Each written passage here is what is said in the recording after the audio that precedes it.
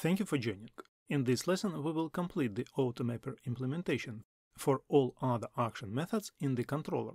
I will also explain AutoMapper related methods such as reverse map for members and map from.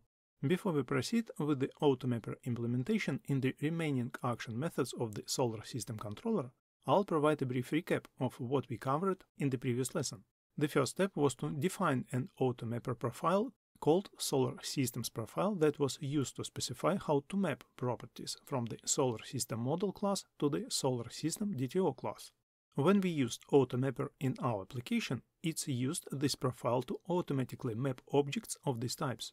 This helped simplify the process of transferring data between our application's domain and presentation layers. The second step involved configuring AutoMapper with the dependency injection system in our ASP.NET Core application. We registered the solar system profile, which was an AutoMapper profile with the DI container. When we invoke add AutoMapper during the application runtime, we instruct the application to utilize AutoMapper with the mapping configurations defined in the solar system profile. This enables us to use AutoMapper with automatic object mapping between our domain and DTO classes across our application. By registering the AutoMapper profile with the dependency injection container, we can inject the mapper interface, which is provided by AutoMapper, into our services, controllers, or other components. AutoMapper will then handle the mapping based on the profile's configuration. In the third step, as we accomplished in the previous lesson, we injected the IMapper interface provided by AutoMapper.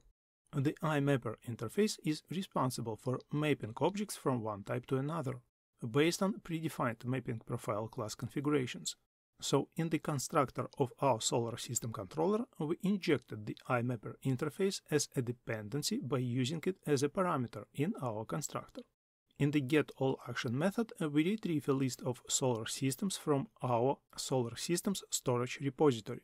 These solar systems objects are of the domain model type, representing data retrieved from the database. Using the IMapper, we then map these domain model objects, solar systems, to data transfer objects of type Solar System DTO. This is achieved with the following line of code.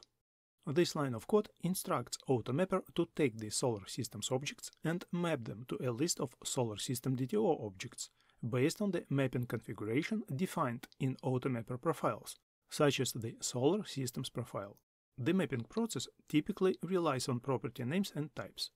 After the mapping is complete, we return Solar System DTO, which now represents our solar systems as DTO within the response.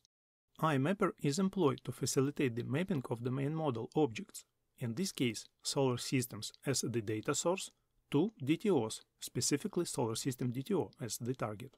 This approach enables us to provide a structured and well-defined response to clients consuming our API.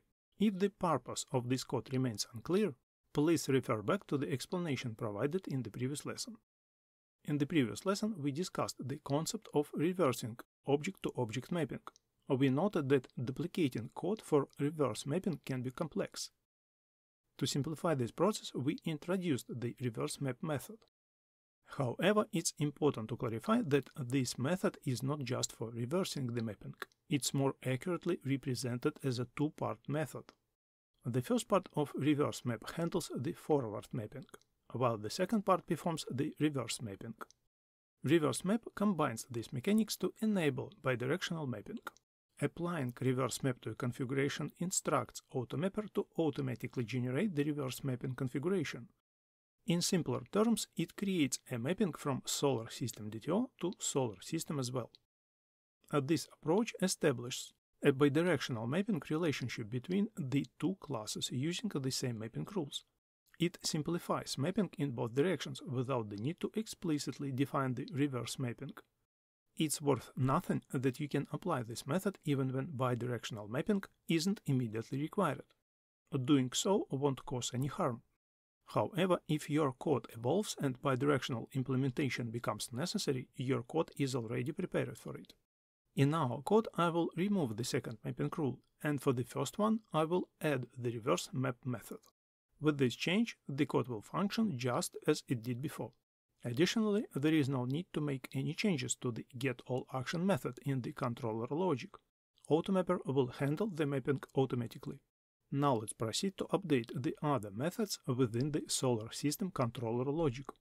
In the getById method, we perform the same conversion with the solar system DTO as the target. And the source will be the solar system single variable, which retrieves the data from the repository class. For the solar system DTO variable, instead of hard-coding the mapping, we can utilize the mapper to map from the destination solar system DTO to the source, which is solar system single. With this change, this action method is also completed. Next method we will work on is the insert single method. This method takes the insert solar system DTO as a parameter, serving as the source in the controller's logic, while the solar system model serves as the target. Since this mapping rule is not present in the mapping profile class, we need to add it. To create this mapping rule, we will start by copying the insert solar system DTO parameter from the insert single method in the controller then, in the profile class, we will duplicate this section of code to create a new rule. In this new rule, we will paste the insert solar system DTO as the source, with the solar system as the target. Returning to the controller, we should remove the section of code with the hard-coded mapping and replace it with the mapper. In this case, the destination will be solar system, and the source will be insert solar system DTO.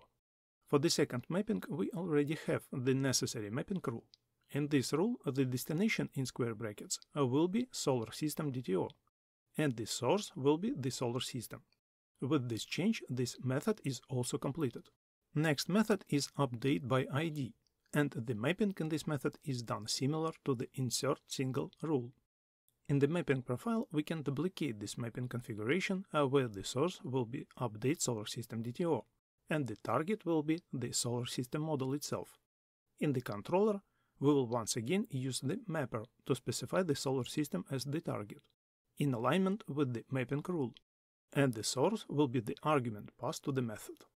The second part of the mapping is performed similarly to previous methods, with the solar system DTO as the target, and the solar system single variable as the source. This method is now complete. As you recall, the delete method doesn't require mapping, as it simply sends a text notification about the deletion. With these changes, the controller is now ready, and when tested in Swagger, it should function as before, but with a significantly reduced amount of code. So far, we have discussed implicit mapping, which occurs when names match, and AutoMapper can intelligently detect and map them as we have seen with properties like name to name and so on. However, let's consider a scenario where the names differ, although this isn't the case for this project. To map properties with different names, we would need to use the for-member method. It takes two parameters. The first parameter specifies the destination property, and the second parameter is a custom mapping expression, typically defined using the map_from method. So, while this isn't relevant to our current project, we can demonstrate how to modify the custom mapping profile using for member if we ever encounter such a situation. To gain a clear understanding, let's take an example from the controller class with the hard-coded mapping, such as the previous version of the controller. We can copy the necessary parts from a method. As an illustration, now we can update the parameters of the for members method, where the name property will be mapped to the code property. Let's simplify the explanation further by adding some additional code for this method. We will create an instance of the update solar system DTO class and initialize its properties with specific values. Then using the mapper, we will map the properties from the update solar system DTO object to a solar system object. With the second variable, we can reverse this process. Now let's discuss in detail what this code is doing. First, let's consider the case with variable 1. In this mapping configuration, it specifies that the code property of the solar system, being the destination, should be mapped from the name property of the update solar system DTO, acting as the source. Since the createMap method specifies the mapping from update solar system DTO to solar system, the code property of the solar system is set to the value of the name property of the update solar system DTO. However, when we reverse the mapping using variable 2, the name property of the update solar system DTO is set to Saturn. In this case, it's sourced from variable 1, where the object's solar system code property holds the value Saturn. This behavior aligns with the reverse mapping configuration we have specified, which essentially flips the mapping relationship. I understand it may be a bit difficult to grasp at first, but with practice it will become clear. Few more things to mention in this lesson. AutoMapper can automatically map collections, including lists by convention. For example, in the getAll action method we have a list type object declared as a list. However, the mapping rule in the profile doesn't require explicit list implementation. Generally, AutoMapper can handle collections automatically in many cases.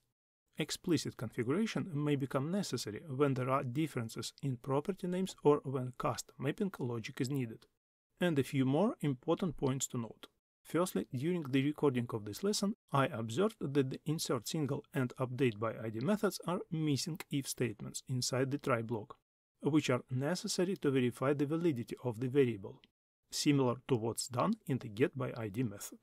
I won't extend this lesson by creating if statements here as the procedure is quite simple, instead I will update the code later, and you can also implement it from your side.